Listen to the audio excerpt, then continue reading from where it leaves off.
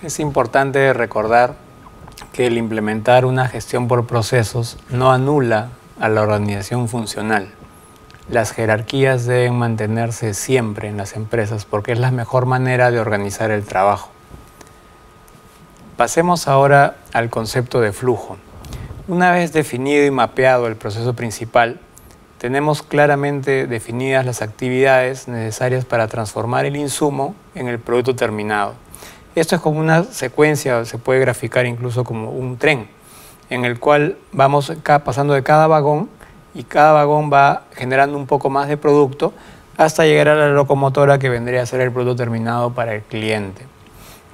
Toda empresa que tiene mapeado su proceso principal, a continuación debe tratar de implementar el concepto de flujo en el proceso principal. Veamos de qué trata este concepto. Lo primero es entender que el valor lo va a definir el cliente. El valor no lo pone la empresa. Cuando un cliente está dispuesto a pagar una cantidad por un producto, lo hace por la percepción que tiene de este valor. Es decir, el valor lo otorga el cliente, pero lo crea el productor, porque es la empresa con el producto que entra al mercado la que va a definir si el cliente le otorga su preferencia o no con la compra. Lo segundo es mapear la corriente del valor, es decir, tener claramente definidas todas las actividades necesarias para llevar el producto desde el insumo hasta el cliente. Esta, corriente de valor es el mapa de procesos o la descripción del proceso principal que acabamos de conversar. Cuando una empresa tiene definido su proceso principal o sus procesos principales, diremos que ha mapeado la corriente de valor. Tercer paso es colocar esta corriente de valor en estado de flujo, que no es otra cosa que hacer que esté transformando todo el tiempo. Transformar quiere decir que se va a procesar el producto hasta llegar a ser el producto terminado. Acá estamos hablando, no hay que olvidar, tanto de bienes como de servicios. Un servicio también tiene una corriente de valor y también tiene un flujo. Si por ejemplo tenemos una empresa que es una central de riesgos, el producto terminado es una información para el cliente. El cliente desea tomar decisiones respecto a si vale la pena o no darle un crédito a alguien. ¿Y dónde empieza entonces este proceso principal? Empieza cuando esta central de riesgo capta de bancos, de empresas de retail o las empresas que manejan las tarjetas de crédito, información respecto al historial crediticio de la persona que se está evaluando. Una vez que se tiene esta información, se procesa, porque viene de varias fuentes, y se consolida en un solo producto, que es el servicio o la información que se le brinda a los clientes.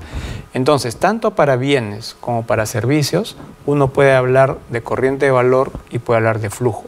Flujo quiere decir que la, actividad o proceso está transformando y está generando valor. Si yo tengo un insumo y luego lo mezclo con otro y estoy preparando de repente una torta, cada vez que yo voy avanzando en el proceso estoy generando más valor. ¿Qué es lo contrario al flujo? Es cuando yo detengo el proceso. Lo contrario al flujo siempre será el almacenamiento. Las empresas tienen almacenes, incluso las empresas de servicios tienen almacenes tienen papeles, tienen datos ahí guardados. Estos almacenes son flujo detenido. Entonces los procesos productivos o están en flujo, que es transformándose, o están detenidos y en almacén. El almacén no genera valor.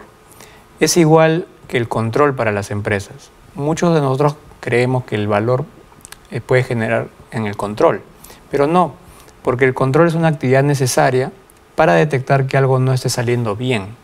Pero si yo tuviera un proceso que trabajara de una buena manera, el control que yo efectúe no generó ningún valor porque el proceso siguió trabajando bien.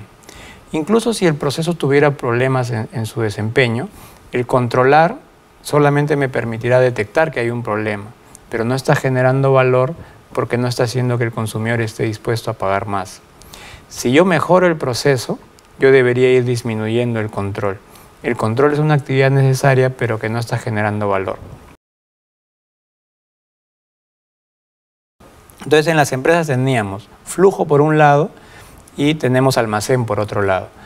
Mientras más almacenes haya, menos valor se genera. El almacén no es otra cosa que un producto detenido. El almacén puede ser un activo para la empresa, puede ser considerado incluso para la contabilidad como si fuera una liquidez como la caja o el dinero que hay en el banco. Pero para un tema de operaciones, el almacén no está generando valor porque el producto no se está transformando. Cuando uno logra disminuir los almacenes y hacer que el producto fluya todo el tiempo, ha logrado el sistema conocido como just in time o justo a tiempo. Una vez que la empresa ha realizado estas actividades, debe retornar al paso número uno para volver a definir el valor.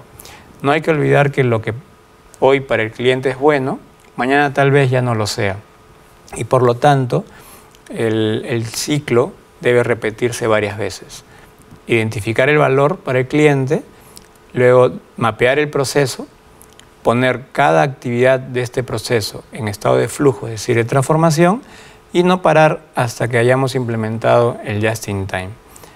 De esta manera nosotros debemos producir siempre, no importa que sean bienes o servicios, la forma más eficaz de producir es en estado de flujo.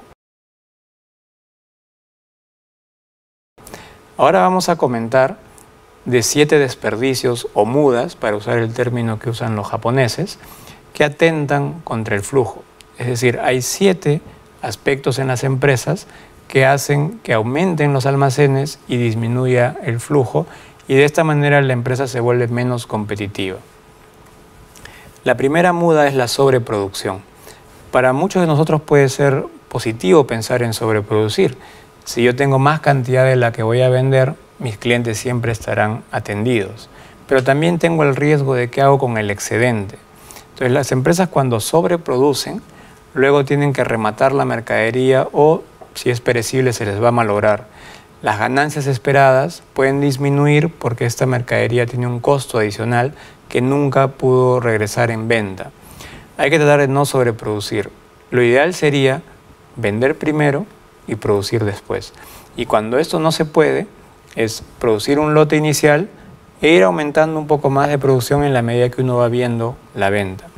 Hay muchos casos de empresas que han tenido un optimismo exagerado cuando el país iba creciendo y con este optimismo llenaron sus almacenes de inventario para poder atender la demanda. Luego cuando llega la crisis y las ventas disminuyen, las personas tienen deudas por este inventario y no saben cómo hacer para salir de ellas.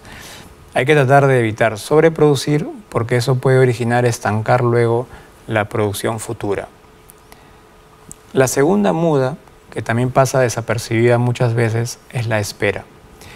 Hay que tratar de coordinar mejor las actividades entre clientes y proveedores, ya que toda descoordinación origina una espera en uno de ellos. Cuando el cliente espera, a veces simplemente se va y busca otro proveedor pero cuando la empresa está esperando, ese tiempo el cual la gente no puede, no puede trabajar está generando un costo innecesario para la empresa y no es ningún valor. No hay ninguna actividad de valor en esperar por algo. El transporte entre procesos tiene que ser estudiado con cuidado. Si yo tengo dos locaciones, hay muchas empresas que tienen su venta en un lugar y su almacén en otro lugar, o incluso tienen varios lugares en los cuales van produciendo cosas y luego lo transportan a otro lugar para un ensamblaje. Si esas diferentes plantas de producción estuvieran ubicadas en un solo lugar, este transporte entre procesos no existiría y la empresa podría generar más valor debido a que sus costos disminuirían. Entonces, cuando la empresa decide hacer más transportes, tiene que ser porque está ahorrando en otra actividad hay muchas empresas en nuestro medio que han ido creciendo, pero al crecer no han podido conseguir un local aledaño y entonces han crecido en una localidad que está ubicada a unos kilómetros de la anterior. Y todos los días hay personal que se va moviendo de una localidad a la otra, que está efectuando un transporte, pero ese transporte no está generando un valor. Entonces habría que revisar si las instalaciones de la empresa podrían más bien centralizarse en un solo lugar. Pasos no necesarios en el proceso. Hay empresas que consideran que mientras más controles pongan es mejor. Por ejemplo, se elabora un producto terminado y el área de control de calidad lo revisa. Una vez que el área de control de calidad lo revisó, ponen a otra persona más para que vuelva a revisar, pensando que dos revisiones es mejor que una. Pero esto usualmente es contraproducente porque el segundo revisor piensa que si el primero ya lo revisó, el producto debería estar bueno, y el primer revisor piensa que si se le va algo, el segundo lo va a detectar.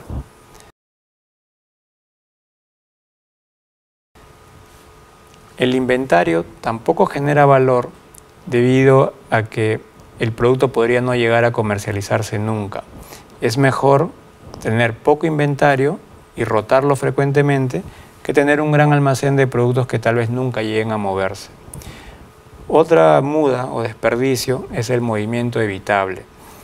Ya, les decía que el transporte entre procesos no añade valor y lo mismo ocurre en el caso de las personas. Es mejor tener a todos en un solo piso, es mejor tener a todos en un solo edificio o es mejor de repente hacer videos, conferencias que estar desplazando a las personas. Y la última de las mudas es el bien que, por el cual el cliente no está dispuesto a pagar. Cuando esto ocurre, o la empresa o el cliente tienen que asumir los costos, de algo mal hecho. Y por lo tanto será mejor rehacer todo para que eh, se entregue al cliente un buen producto.